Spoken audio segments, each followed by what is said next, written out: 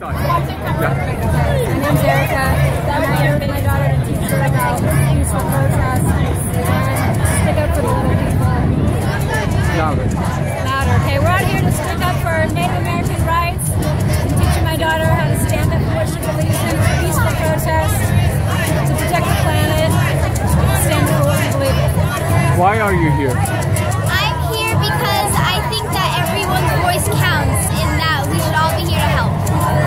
And what are your hopes for the future?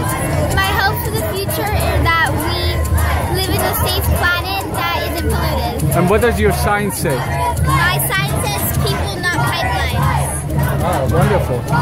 Thank you very much. Thank you.